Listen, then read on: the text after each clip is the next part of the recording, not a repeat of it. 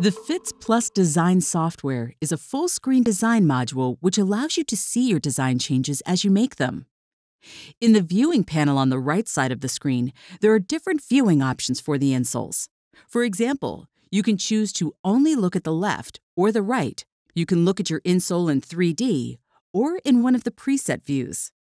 When you're designing insoles for your patient, you can superimpose the 2D analysis view of your patient's foot on your insole design. Just click on the 2D Analysis view. This is a helpful tool to ensure that your insole design matches your patient's needs more closely. The 2D Analysis view is the average pressure image of your patient, combining all footsteps in the measurement session.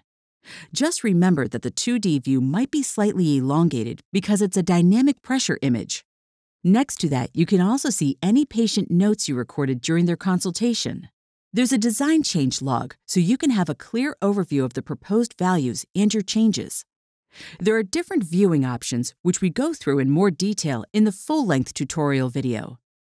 You can use the Reset button to return to the default values based on the design algorithms.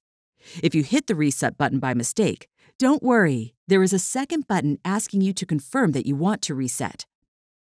At the top of the screen, beside the patient's name and the date of the measurement, you'll find a stack menu. This shows you the different corrections added to the insole design. Besides showing you which corrections were added, this feature also allows you to quickly remove or amend corrections. You can delete a correction by clicking on the bin icon or adjust the changes by clicking on the text. This is just a short overview of some of the features you can use to design Phits Plus insoles for your patients. To explore all of the design options, watch our full video.